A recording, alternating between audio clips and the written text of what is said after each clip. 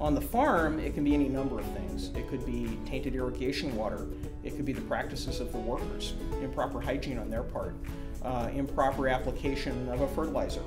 It's an animal manure, for example, or contamination uh, from wild or domestic animals uh, in the crop. As it goes into the packing environment or processing environment, a number of things can happen. You can have inadequate sanitation in that facility. Um, if it is a processed food, like a cooked food or a roasted food or something of this sort, they may not have an, an adequate temperature to kill a pathogen that's present. Um, or there could be bad practices by the workers themselves. Even in the distribution chain, we worry about things like the cold chain. If it's a refrigerated food being transported by truck, for example, did the refrigeration system work correctly? Or did that food get warm and cause organisms to spoil? Uh, and, or, and or are there sanitation issues with that con contaminated uh, container or truck trailer that might have cross-contaminated the food?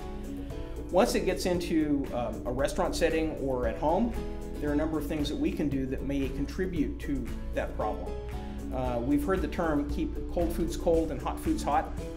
You really want to keep foods from spending too much time between about 40 and 140 degrees because that sort of lukewarm temperature is the ideal temperature for pathogens, for disease-causing organisms to grow.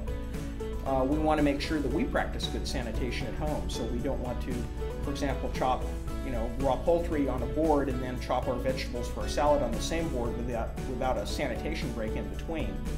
Um, and of course, if we cook our foods, we want to make sure that we thoroughly cook them. So any number of these things can, can contribute to and cause foodborne illness.